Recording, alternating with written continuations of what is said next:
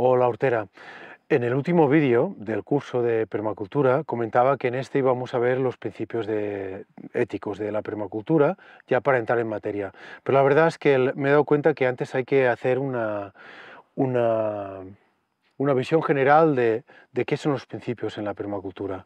Igual que hemos visto antes, pues qué era un sistema, ah, cómo circula la energía en el sistema, de una manera muy sencilla, ¿eh? muy por encima. antes de entrar en materia será muy útil que nos situemos respecto a los principios, porque a algunas personas puede traer confusión. ¿Y qué estoy haciendo aquí con una ballena de Lego? Bueno, vamos a usar esta ballena de Lego para explicar cómo funciona el diseño en permacultura y qué, qué, qué son exactamente los principios y cómo los utilizamos. Pero antes de seguir, queremos dar las gracias tanto Diego Espada, que está al otro lado de la cámara, como yo mismo, pues a la gente que, a las 79 personas que estáis abonadas al canal, también a la gente que habéis estado abonadas durante un mes, que habéis estado abonadas en el pasado, bueno, le dais sentido a que hagamos esto y a que continuemos grabando vídeos. Así que en nombre de los dos, gracias por vuestro apoyo y seguimos. Entonces, una cosa muy importante que, va a quedar muy clara con este curso es que la permacultura no es una forma de hacer huerto. La permacultura es un sistema de diseño que se puede aplicar a la economía, a la bioconstrucción, al, al diseño de muchas cosas. Y una de las cosas con las que funciona muy bien el diseño en permacultura es precisamente a la hora de cultivar alimentos. Entonces, vamos a utilizar el Lego. Cuando, cuando la gente oye hablar de Lego, ah, piensa, la, imagen que nos viene a todos a la cabeza es, el ladrillo este típico del 2x4, ¿vale? Que tiene unos pivotes arriba, tiene unos encajes abajo y que se puede montar de distintas maneras con, otras piezas de Lego.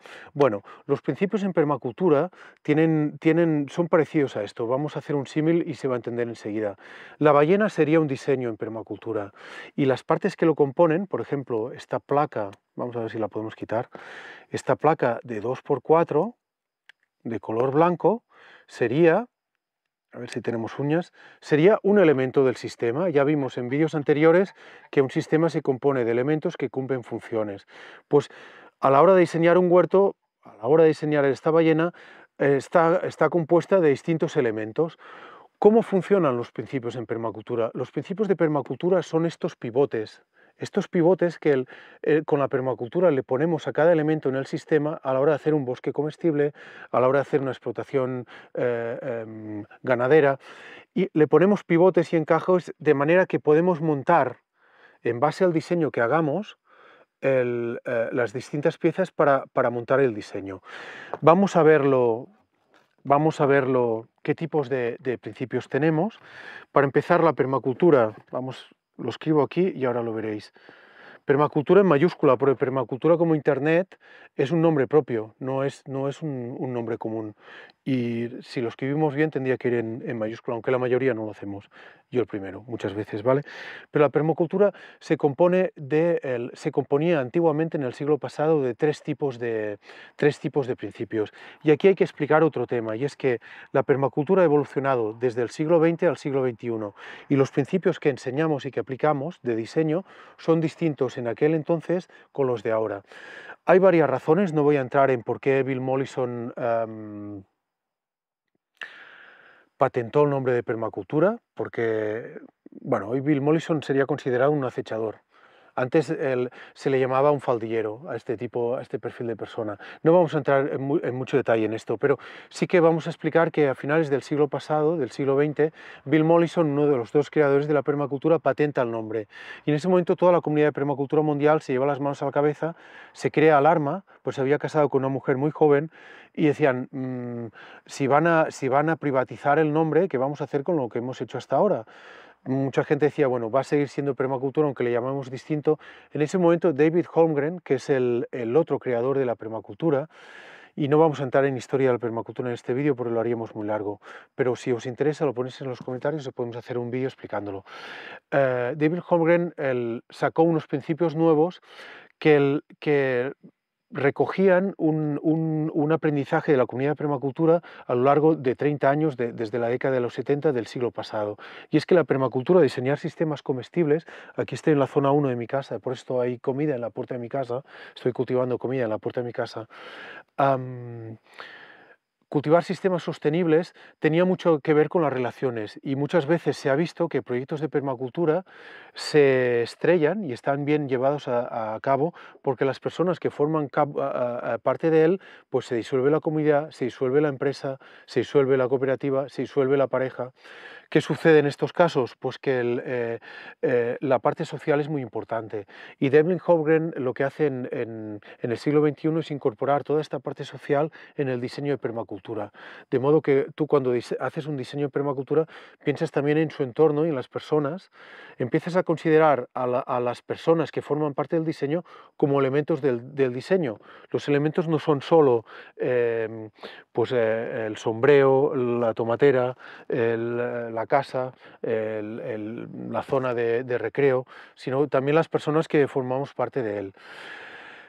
Por eso hay dos tipos de principios de permacultura y por eso en el siglo pasado se abandonan unos principios que son los de actitud. Entonces vamos a ver, en primer lugar, desde siempre están los principios éticos, que son tres. Principios éticos, ¿vale? Eh, se habla a veces de las tres éticas, no, la ética es solo una. Lo que pasa es que se basa en tres, en tres pilares y es lo que sí vamos a ver a partir del próximo vídeo.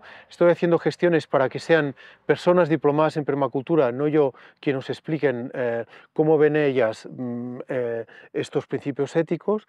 Entonces, están los principios de actitud, los principios de actitud, en algunos lugares, podéis encontrarlos como principios molisonianos, de Bill Mollison, porque tenían mucho que ver con la forma con la que él explicaba la permacultura. En este punto también es importante decir una cosa, y es que en los primeros 20 años de la, permacultura, en que él se desarrolla, se aplica y se da a conocer, los principios no estaban definidos. Hay un vídeo muy bueno de una permacultora que se llama Heather Joe Flores, que está afincada en, en Andalucía, es norteamericana, y es una caña porque ella explica que llegó a contar hasta 47 principios de permacultura. Yo a mí mismo me pasó la primera vez que hice el curso, el CDP, el curso de diseño en permacultura, que es el básico de 72 horas, que miré cómo habían publicado en internet otra gente que habían hecho el mismo curso y lo explicaban todo distinto. Pensé, pero si hemos hecho el mismo curso, nos han explicado lo mismo. Entonces, pasó mucho en los primeros años de la permacultura que la gente la interpretaba a su manera y la aplicaba en su contexto. Y esto está bien porque aporta diversidad. Pero a la hora, de enseñar permacultura hubo un momento en que era un caos. Y con la publicación de Introducción a la Permacultura, en el 70 y largos, 80 eh, y algo, 80 y algo, no lo recuerdo con exactitud, se publica este libro y se crea un estándar de 10 principios de permacultura de diseño. Y estos de actitud dejan de, tener presencia en ellos. Nosotros vamos a verlos en este curso porque son muy útiles, muy útiles. Los principios de actitud en permacultura, y lo veréis más adelante en el curso, ayudan a desencallar el diseño cuando no tienes claro si esta ballena, la cola, tendría que ir así o asá. Eh, con los principios de actitud, pues tienes una herramienta muy útil para montar pivotes aquí y eh, eh, ver cómo puede quedar mejor y, funciona mejor la cosa. Entonces están los principios de diseño propiamente. ¿Vale? Los principios de diseño son las herramientas son estos pivotes propiamente que utilizamos en permacultura. Mm, hemos visto ya varios a lo largo del, curso. Por ejemplo, planificación a lo largo del, canal en estos tres años. Planificación eficiente de la energía, eh, fomentar la biodiversidad, fomentar el ecotono. Los que vamos a ver en este curso son los antiguos, porque se aplican muy bien, como que el canal se dedica a huerto, se aplica muy bien a lo que es el diseño de huerto. Y la parte social, aunque también está implícita, no tiene tanto protagonismo y son más fáciles de manejar a la hora de manejar sistemas vivos para producción de comida. Eh, pero están los actuales, que son los que tú verás en un CDP, que son distintos, que incorporan los mismos conceptos, pero en muchos casos los amplían y que no necesariamente se corresponden. En la web, en los comentarios, en la descripción del vídeo, te voy a poner un enlace con un artículo en el cual te pongo la equivalencia de los, de los principios antiguos y los modernos. De modo que si te encuentras con un principio en el curso y no te suena de, nada porque has hecho el CDP, el curso de diseño de permacultura, hace poco, que sepas a, qué corresponde con lo que tú has aprendido o te hemos enseñado. Y al revés, si tú hiciste el curso hace, antes del año 2001, pues eh, podrás saber en, los, en los, em, en los em, principios actuales a qué corresponde. Y si todo esto son los principios, hay otra parte de la permacultura que es el diseño propiamente pero vamos a hablar de métodos de diseño para no para que no se confunda con los principios de diseño, ¿vale? Y los métodos de diseño es que tú después puedes jugar con estos pivotes. Hay gente que para montar el Lego separa las piezas por colores. Hay gente que las separa por tipos de pieza. ¿Vale? Los ladrillos con los ladrillos, las que son planas con las que son planas. Mm, hay muchas maneras de montar Lego, entonces hay muchas maneras en permacultura de poner en relación los principios y utilizarlos para, diseñar un sistema y hacer que funcione. Entonces, solo vamos a ver en este curso una metodología que es la DADI o ADI, que es la más simple, que es la que de manera intuitiva eh, acabamos utilizando todo el mundo.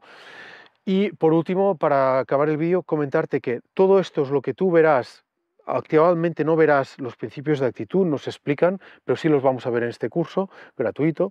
Y esto es lo que verás tú en un curso de diseño de permacultura y los métodos de diseño es lo que tú vas a ver si cursas el diploma en permacultura, o al menos lo que deberías ver, si el, si el diploma está bien diseñado, porque cada país y cada academia de permacultura y cada comunidad de permacultura hace el diploma un poco adaptado a, a su realidad y en Europa tenemos un estándar que es el británico y es el que utilizamos en en España. Y con esto eh, y un bizcocho, pues ya hemos, ya hemos visto este vídeo. En el próximo vídeo sí vamos a ver lo que son los principios éticos. Hasta el próximo vídeo.